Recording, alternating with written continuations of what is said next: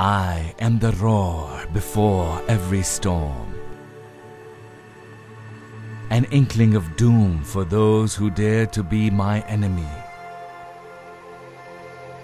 A source of hope for those who are my friends. My every move calculated, thought out, planned.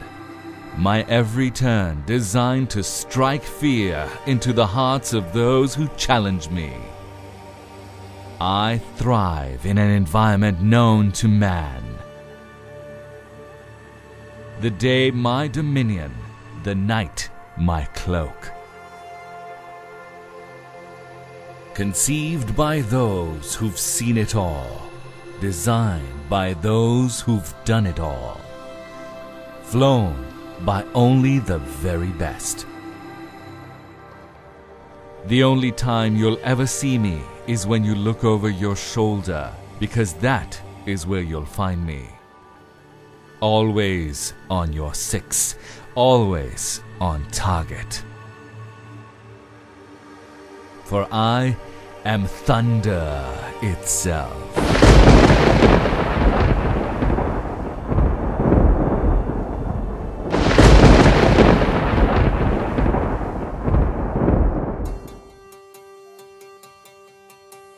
No air force in the world opts to design an aircraft itself. It is a long and tedious task, based on countless man hours and innumerable resources. Air forces the world over buy off the shelf solutions and then tailor them to their own operational requirements. Challenges such as sanctions and poor economic conditions became the need that justified the Pakistan Air Force foraying into the world of aircraft production. The JF 17 program is the story of a nation's drive to persevere and a service's commitment to honor its promise of safeguarding the skies that it has been entrusted with. In this process, a world class fighter was born. A fighter that will be at the heart of every developing country's air defense picture, based on its superior operational capabilities at a cost which is one third of its competition. The JF 17 Thunder program is the culmination, or rather the manifestation, of the requirements of a world class, battle proven air force that has traditionally operated only top of the line aircraft. Aircraft which have been produced by some of the best companies in the world. The JF 17 is a product that was designed through the learning and feedback of those pilots who had flown nearly every state of the art military attack fighter available to man, in every operational environment and condition known to an operational pilot. What resulted is a platform able to flawlessly perform in every situation or circumstance that it is tasked with. Air staff requirement was to have airframe from Chinese aviation industry and the avionics items should come from the western origin. However, once we started to select those items, we found out that the western equipment was not being releasable because of sanctions. Now, this was the time we had to take a decision. And we started to look for the Chinese avionics system. The available equipment from the China was not only qualified but also matchable to the Western equipment. So our leadership decided that now not only that we should have the airframe from China, we should also have the avionics equipment from China which are not compromising on our quality or our ASR requirement. However, I must share it with you that some of the releasable avionics equipment still are on this aircraft and it is making an excellent gel of Chinese and the Western system together on one aircraft.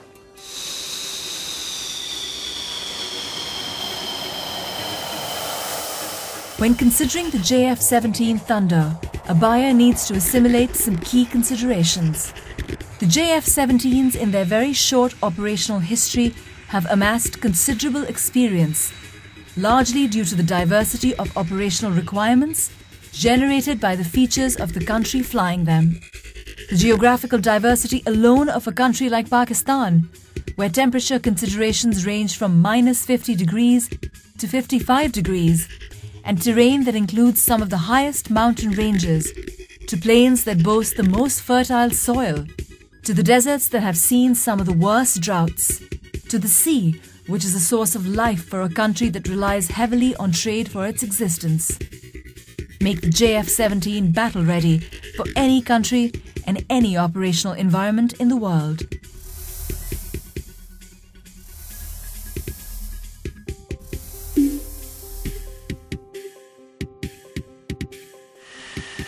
There is one thing the Pakistan Air Force truly excels at and is renowned for, it is the relentless filtration process that it puts its pilots through.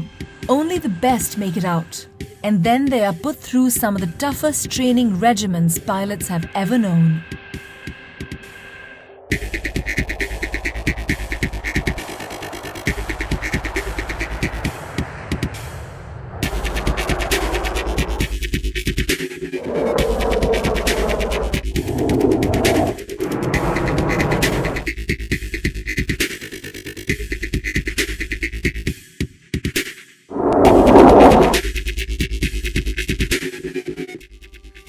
Not only this, but the battle history of the Pakistan Air Force is for the world to see. Its pilots have dominated the skies over Southeast Asia, and some of them have even scored multiple kills in the skies over the Middle East. In exercises all over the world, its pilots have more than held their own. Could the pilots brought up in this tradition demand anything less? From air interdiction to air superiority, from bombing runs to sinking ships, these pilots have done it all and have the trophies to prove it. A poignant reminder of its operational readiness is its recent induction into CCS, the Elite Combat Commander School.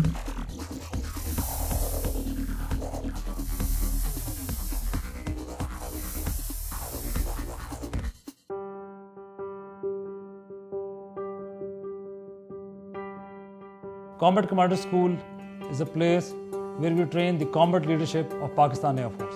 This is an institution where we have all the platforms of Pakistan Air Force available, which are pitched against each other, and that is the environment from where we take out the best of the best to ultimately lead the Pakistan Air Force. Combat Commanders School is the toughest proving ground in the world. Real world scenarios are simulated and played out. The instructors are ruthless in their evolutions, and to impress them, aircraft and aircrew alike have to be at their very best. It is a fact that CCS operates only those weapon systems which are combat ready. The fact that JF-17 is here and holding its own is a proof that JF-17 is ready to take on anything that comes its way. It may seem incredible to the casual observer that the JF-17 has been able to quickly take on the operational requirements of the Pakistan Air Force but if one takes into account some of its unique features, there will be no doubt as to its prowess. Paramount among them is the cockpit experience. Its ergonomics are what define decision making in a combat scenario.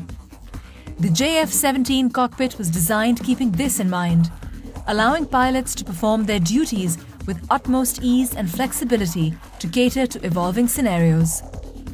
JF-17 incorporates full glass cockpit with smart heads-up display and three smart multiple function displays that provide the pilot with the ability to switch from one set of information to another in coherence with the tactical situation that follows with the help of task controls and upfront control panel. Maintaining a fighter squadron can be both a joy and a pain, depending on the type of system being maintained.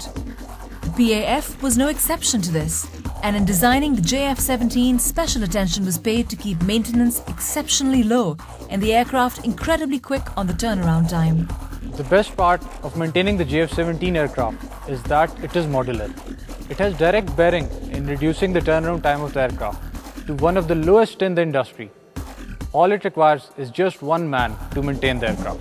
The JF-17 incorporates 1553 and 1760 databus architectures.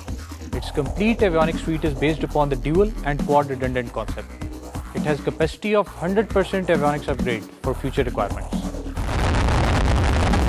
In record time, the JF-17 has been able to take on some of the most daunting challenges that it has ever been put up against. It has taken on all roles within the PAF and is performing each in a manner worthy of the PAF.